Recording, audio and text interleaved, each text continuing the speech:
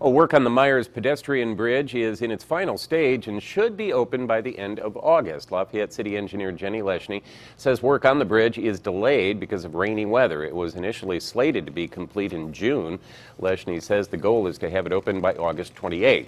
On August 10th, the pedestrian bridge will be completely closed to replace the railings. Leshney says crews are working as quickly as they can to reconnect the two cities. We have been working very hard to try to compress the time frame to get the bridge open. It's really important to have it open um, this fall, especially with students returning.